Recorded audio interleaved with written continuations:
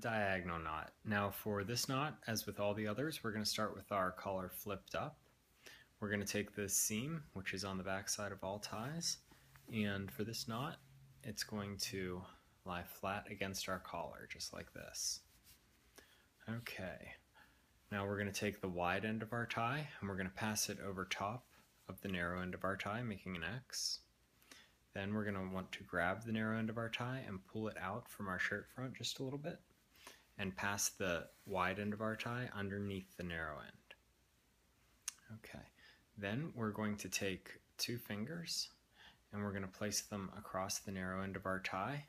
We're going to take our thumb and we're, I think I'll see, you'll see better on this side, we're going to pinch the knot just like this. That way we can pull the knot away from our chest and pass the wide end up and through this side. So we're going to take the wide end of our tie and pass it over top of our two fingers, just like this. Then we're going to take the wide end of our tie and we're going to pass it underneath, once again, underneath the whole knot. Okay, very good. Now you should be set up just like this. And this knot, this is where it gets a little awkward to, uh, to tie this knot. We're going to take the wide end and we're going to pass it down and through this gap. Okay? So we're going to pick it up here. We're going to push it down and through the gap. And this little bit where we went down and through, that is the actual diagonal part of the diagonal knot.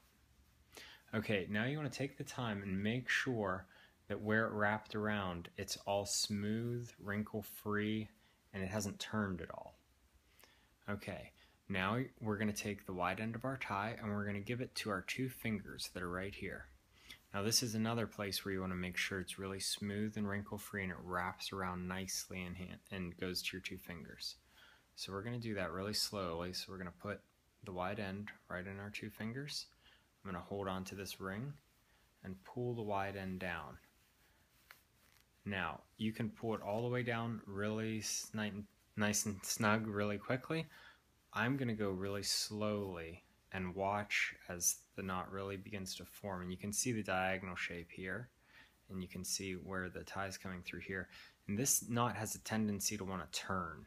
So the wide end of your tie is going to keep trying to turn around to the back side just because there's so many twists in it.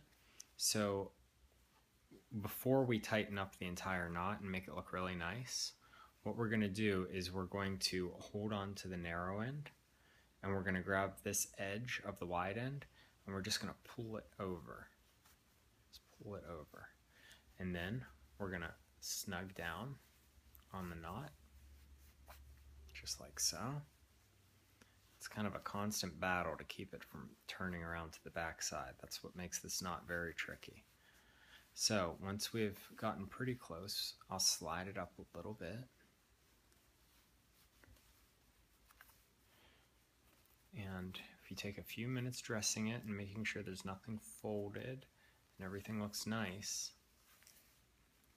we're going to end up with a very cool, very interesting pattern where we have this diagonal piece that's coming up over top of our regular tie.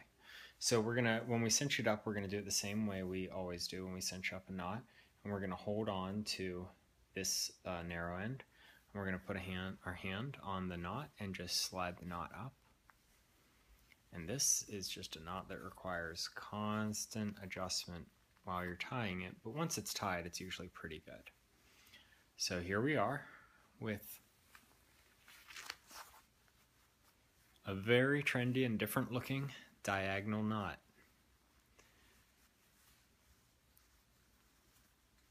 Alright guys, I hope you enjoyed seeing how to tie that.